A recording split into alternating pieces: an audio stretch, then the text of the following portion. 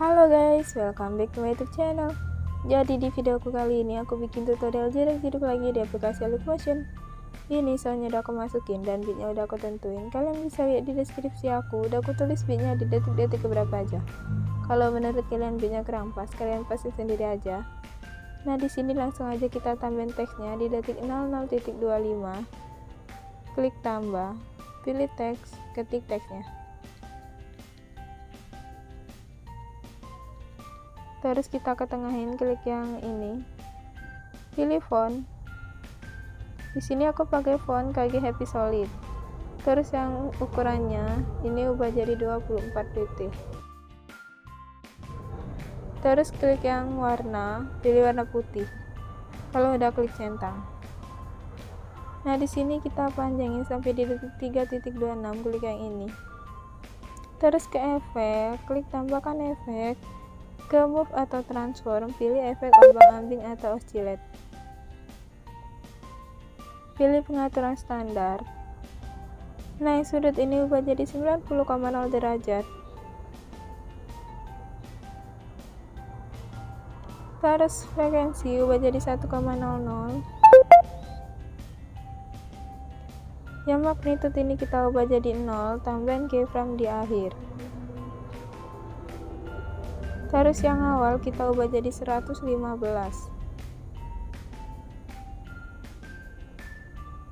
tengahin tambahin kurva yang nomor 3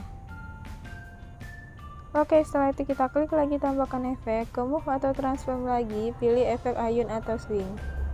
Pilih pengaturan standar frekuensi diubah jadi 1,00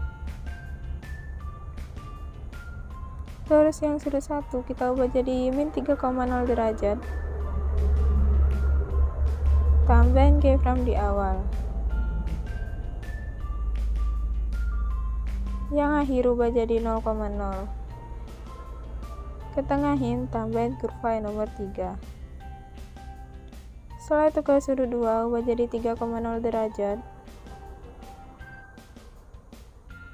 Tambahin keyframe di awal yang akhir rubah jadi 0,0 tengahin tambahin kurva yang nomor 3 oke setelah itu kita klik lagi tambahkan efek ke blur. Tambahin efek burung gerak atau motion blur. Oke di sini kita salin teksnya. Klik yang ini pilih salin satu layer. Nah, di detik 3.26 ini kita tempel efeknya, klik lagi yang ini, pilih tempel satu layer.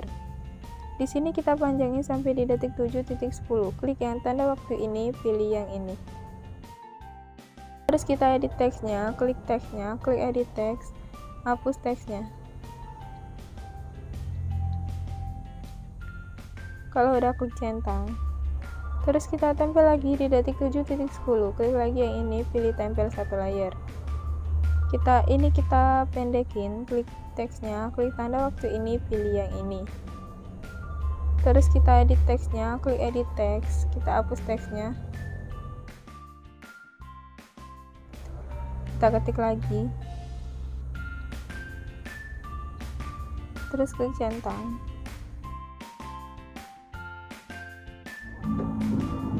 Di sini kita tempel lagi teksnya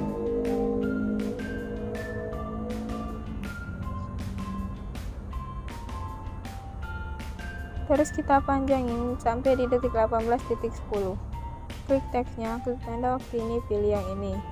Pilih edit teks kita hapus teksnya. Kita ketik lagi. Terus klik centang. Oke di sini kita tambahin foto klik tambah. Pilih gambar dan video masukin foto yang mau kalian edit nah ini kita panjangin sampai di bit terakhir. Klik yang ini. Oke setelah itu kita potong-potong sesuai dengan bitnya. Klik yang ini.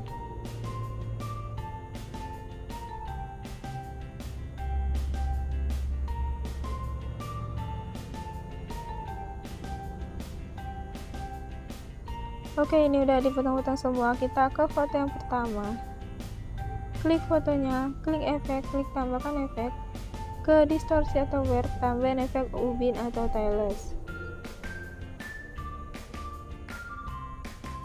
Terus aktifin mirror. Setelah itu klik lagi tambahkan efek ke move atau transform. Pilih efek ombang-ambing atau oscillate. Pilih yang pengaturan standar. Terus yang sudut ini kita ubah jadi 90,0 derajat.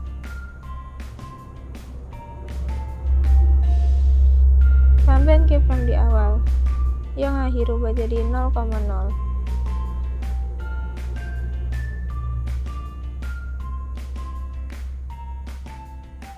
ketengahin tambahin kurva yang nomor 3 terus yang frekuensi ubah jadi 0,70 yang magnitude ini kita ubah jadi 0 tambahin keyframe di akhir yang awal ubah jadi 205 tengahin tambahin kurva yang nomor 3 oke setelah itu kita tambahin efek ayun. Di move atau transform. Pilih yang pengaturan standar. Yang frekuensi ubah jadi 1,00 yang sudut 1 ubah jadi min 7,0 derajat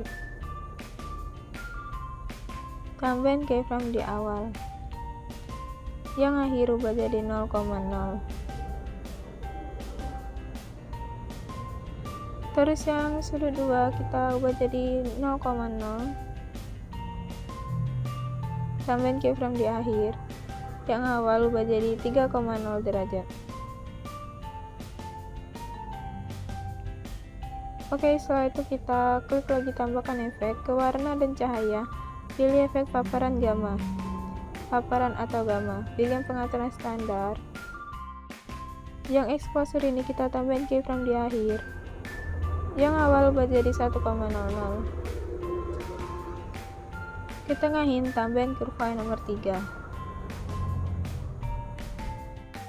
Kita klik lagi tambahkan efek ke blur. Tambahin efek burang gerak atau motion blur. Ini kita ubah jadi 0,50. Oke, setelah itu kita klik lagi tambahkan efek ke opacity atau visibility, tambahin efek opasitas tekanan. naik frekuensi ini ubah jadi 16,00 terus yang kekuatan ubah jadi 70% oke kalau udah ini kita salin teksnya klik titik tiga ini pilih salin efek. Kita tempel di fotonya agak panjang. Di detik 20.04 klik fotonya klik efek klik titik tiga pilih tempel efek. Setelah itu di detik 22.03 klik fotonya klik efek klik titik 3 pilih tempel efek terus di detik 23.27 kita tempel efeknya. Dan di foto terakhir. Nah setelah itu kita ke foto yang kedua. Klik fotonya klik efek klik tambahkan efek tambahin efek ubin aktifin mirror. Setelah itu klik lagi tambahkan efek tambahin efek ombang ambing. Yang sudut ubah jadi 90,0 derajat yang frekuensi ubah jadi 1,00 terus yang magnitude ini kita ubah jadi 0 tambahin keyframe di akhir. Yang awal ubah jadi 254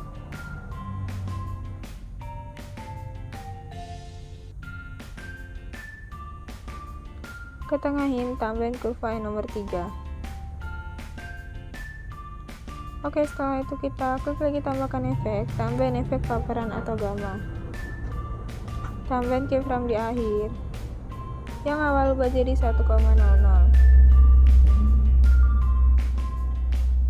tambahin kurva nomor 3 setelah itu klik tambahkan efek tambahin efek burang gerak. Kita ubah jadi 0,50 terus kita salin efeknya klik titik tiga ini pilih salin efek oke terus kita tempel di foto berikutnya. Klik fotonya. Klik efek. Klik titik tiga pilih tempel efek. Kita tempel di semua fotonya kecuali di foto yang udah kita kasih efek di awal tadi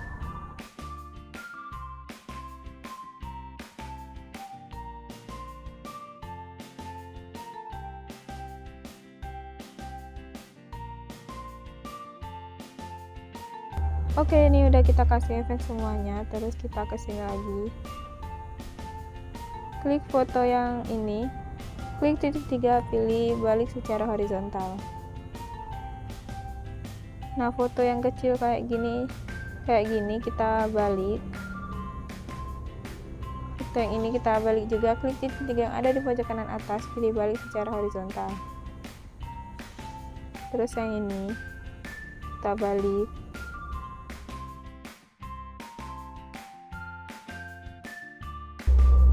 Oke, kalau udah kita lihat hasilnya.